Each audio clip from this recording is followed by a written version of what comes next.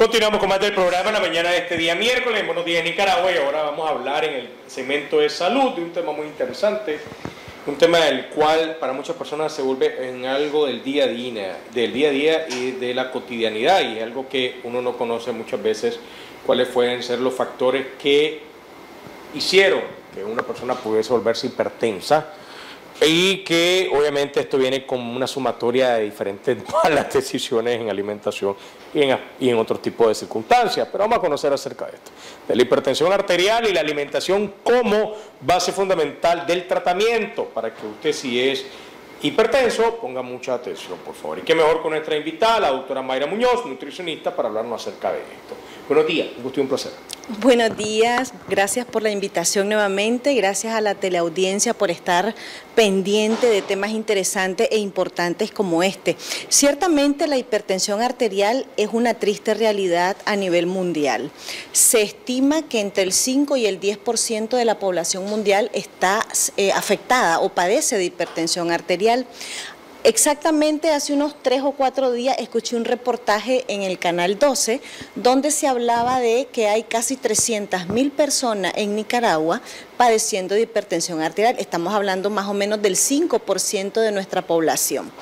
¿Qué sucede? La hipertensión arterial no lastimosamente no aparece como única eh, entidad clínica en las personas porque eh, puede permanecer o prevalecer como eh, comorbilidad o u otra enfermedad coexistente. Hablamos de diabetes, hablamos de sobrepeso, de obesidad, hablamos de dislipidemias, que es, que es cuando tenemos el colesterol y, el y los triglicéridos altos. Entonces no es una enfermedad por sí que vive sola, ¿verdad? Generalmente se acompaña de otras entidades clínicas y de ahí la importancia. Es muy importante que usted sepa que la hipertensión arterial se puede prevenir y debemos prevenirla. Y una vez que nos diagnosticaron hipertensión arterial, podemos tratarla. Hoy no vamos a hablar del tratamiento farmacológico porque esto es un tratamiento individual que el médico junto con el paciente y sus necesidades metabólicas va a elegir en el consultorio, ¿verdad? Pero sí desde casa podemos pensar en la prevención y el tratamiento correcto de la hipertensión arterial a través de una alimentación consciente, responsable, saludable y sobre todo sostenible. Afortunadamente somos un país en donde hay frutas y vegetales todo el año. Entonces eh, podemos incluir más fruta y vegetales. Yo quiero hablarles específicamente de la, dieta DASH.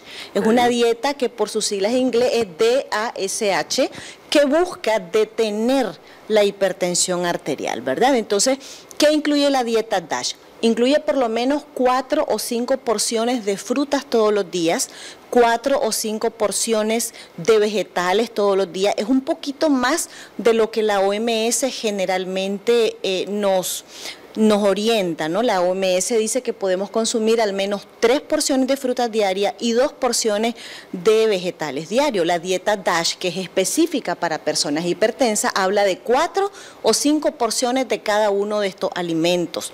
Indiscutiblemente tenemos que bajar de peso si se sufre, de, si se sufre perdón, de sobrepeso o de obesidad. La hipertensión arterial no es solo que me duele la cabeza, que tengo la visión borrosa, que tengo palpitaciones o que tengo sensación de falta de aire. Todo eso es indudablemente síntomas desagradable, ¿verdad? Que debemos eh, ponerle mente y mucha atención si en casa nosotros o no, cualquiera de nuestra familia lo sufre, porque puede estar eh, sufriendo depresión, depresión alta y no lo sabe.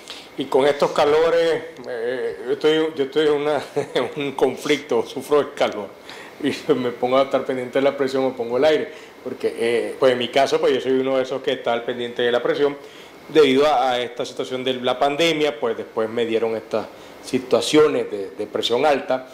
Y lo que usted ha mencionado, pues todo eso es el síntoma diario y cotidiano que hay que saberlo manejar. Pero es interesante, usted mencionaba esta, este sistema alimenticio DASH o esta, esta dieta DASH, en la cual pues debería ser lo normal y lo habitual, o sea, de comer esta fruta, estos vegetales, en la reducción. Yo lucho con reducir mi ingesta de café, eso es manta café y eso es totalmente prohibido para una persona que le han diagnosticado con, con, presión alta. Pero eh, obviamente esto también tiene que ir acompañado de otras cosas, pues tiene que ir acompañado también con una actividad física. Ahora, por ejemplo, cuando una usted hablaba de que esto es preventivo y también es de acción cuando el paciente también ya tiene, ya es, ya es diagnosticado hipertensión. Así es. En ambos casos tiene, una, tiene obviamente un beneficio el llevar este hábito alimenticio. Claro, claro, indiscutiblemente los buenos hábitos de alimentación no, solo, no solamente van a prevenir que suframos de hipertensión arterial, van a prevenir que suframos de diabetes, de síndrome metabólico, de obesidad, de sobrepeso, entre otras patologías. Definitivamente el paciente hipertenso no puede consumir alimentos embutidos. ¿Por qué? Porque son ricos en sal. Estamos, estamos hablando de jamón, de bacon, de salchicha, las famosas salchichas parrilleras que son tan ricas y asadas, ¿verdad? Pero... Y eso queda la parrilla. Pero ¿qué ocurre? Si usted no es hipertenso y se come una salchicha o un pedazo de bacon eventualmente, probablemente no va a suceder nada. Pero si usted es hipertenso, debe evitar a lo máximo posible, a la máxima expresión posible, el, consumo de eh, de alimentos embutidos. Muy importante también el tema de la alimentación natural. Los enlatados generalmente contienen como preservantes abundantes cantidades de sodio. Entonces, el paciente hipertenso no debe consumir alimentos enlatados. Es decir, el, el paciente hipertenso tiene que llevar una alimentación lo más natural posible, sin preservantes, sin aditivos, porque generalmente los preservantes que utiliza la industria alimenticia o es exceso de sodio es exceso de sal, ¿verdad? Entonces, si no es chanejuana, como decimos, si no nos da hipertensión, nos va a dar diabetes por el exceso de, eh, de alimentos enlatados, empacados, envasados, industrializados, como se, como se le quiera llamar. Muy importante, el tema de los calores. Ciertamente, eh, hay que mantenerse hidratado, ¿verdad? Pero no es ni la gaseosa ni el Gatorade o bebidas azucaradas, ni los refrescos naturales hechos en casa, los que nos van a hidratar es agua, es suero. Mire, hágase una limonada ralita, como decimos, un vaso con agua, unas gotitas de limón y tómeselo. Eso es una buena opción para hidratarnos.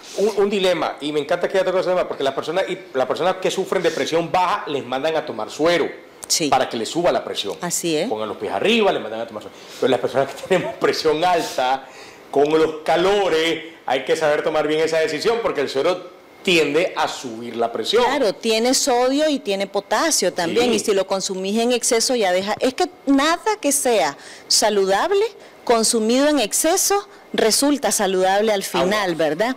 Por otro lado, bien comentabas, la actividad física está comprobado que no solo nos ayuda a mantener un peso saludable, sino también a reducir o perder peso y también reduce los niveles de azúcar en sangre y los niveles de la presión arterial. Yo te invito a que hagas la prueba. Empecé a caminar por lo menos unos 30 minutos todos los días y en un mes vas a ver cómo tu presión arterial, si no está normal, ha bajado significativamente. El tema de la actividad física es normal. Y, y ojo, Piensen esto siempre, por favor. La hipertensión arterial no es solo que me duela la cabeza. Usted tiene que pensar que su corazón bombea con mucho más esfuerzo la sangre cuando la presión arterial es alta. Entonces, se dañan a mediano o largo plazo pequeños vasos sanguíneos que son muy importantes para el corazón, para el cerebro, para los riñones, para sus ojitos, de manera que si usted mantiene niveles de presión arterial muy alto a mediano plazo, usted puede desarrollar una enfermedad renal, puede desarrollar problemas de la vista, la demencia vascular es conocida por altos niveles de presión arterial mal controlados. Entonces son muchas las razones por las que usted debe cuidarse. No solamente la hipertensión arterial, desafortunadamente eh, ya estamos con el 5% de nuestra población afectada por presión arterial alta. Y me atrevo, me atrevo a afirmar que el porcentaje es más alto, porque hay, hay hipertensión arterial silenciosa. El paciente no siente nada.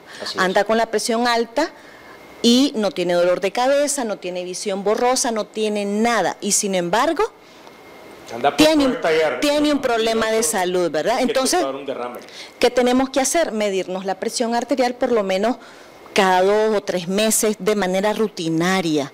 Si, no ha sido diagnosticado, hay que estarse la medida. Si tiene, si diagnosticado y tiene aparato todos los días. Doctora, ¿cómo la pueden contactar nuestro amigo inteligente para hacer una cita con usted? Atendemos en la clínica del hígado, ubicada en Vía Fontana. Usted me puede llamar al 87 23 70 10 y con mucho gusto agendamos una cita y le ayudamos.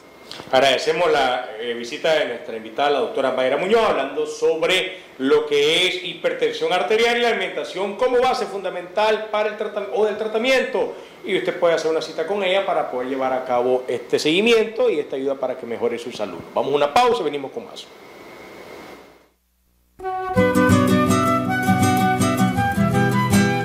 Reconocimientos, denuncias, quejas y sugerencias envíelas a Canal 12, programa Buenos Días Nicaragua, Residencial Bolonia, o llámanos a los teléfonos 2266-0691, 2266-9983, 2266-9984.